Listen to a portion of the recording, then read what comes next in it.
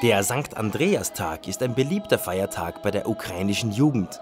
Der Höhepunkt dabei ist das Kaleta-Ritual, das Essen eines runden Brotes mit einem Loch in der Mitte. Die Kaletas dienen als Test, um zu ermitteln, ob junge Männer bereit sind, eine Familie zu gründen. Der Feiertag fällt auf den 13. Dezember. Rechtzeitig davor backen die jungen Frauen die Brote. Jungs, die während der Feier beweisen, dass sie reif geworden sind, dürfen heiraten. Und wie beweisen sie ihre Reife? Sie müssen eine Reihe von Fragen beantworten, ohne zu lachen. Ein junger Mann schmunzelt, er wird mit Ruß bepinselt.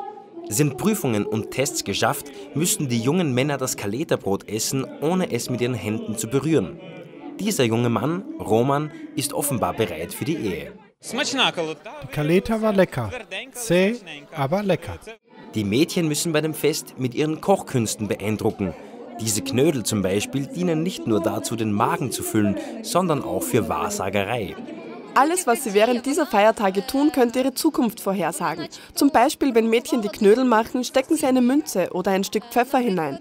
Wenn sie einen Knödel mit einer Münze bekommen, wird Ihr zukünftiger Ehepartner reich sein. Wenn Sie einen mit Pfeffer bekommen, wird er wie Pfeffer sein, mit einer schwierigen Persönlichkeit. Was die Eltern der Jugendlichen betrifft, nun, ihnen ist es nicht erlaubt, am St. Andreasfest teilzunehmen. Sollten sie versuchen, ihre Töchter zu hindern, zum Fest zu gehen, ist den jungen Männern erlaubt, den Zaun oder das Fenster aufzubrechen, um das Mädchen aus dem Haus zu befreien. NTD News Kiew, Ukraine